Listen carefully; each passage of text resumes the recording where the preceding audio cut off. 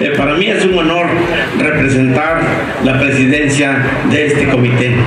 Es un gran compromiso que adquirimos porque desde el primer día de nuestra administración nos dimos a la tarea de colocar a Córdoba en los ojos del mundo. Con mucho esfuerzo lo hemos hecho. Lograr la distinción, primero nos dio una tarea extraordinaria, cumplimos con ese requisito y el día de hoy estamos encabezando este comité. De tal manera que invito a todas y todos los que estamos presentes, más todas las personas que nos siguen a través de las redes sociales, nos comprometimos a ser incluyentes.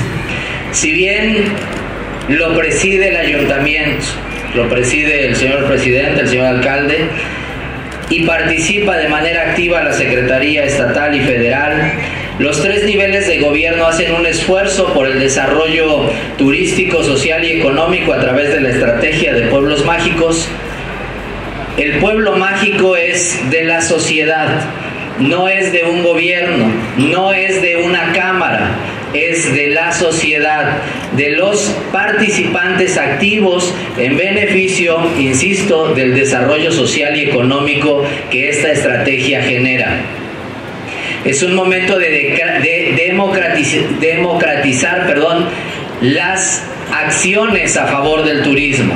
Es un momento de que existan acciones a favor del crecimiento y del desarrollo de la marca Pueblo Mágico con aportaciones ideológicas y sociales.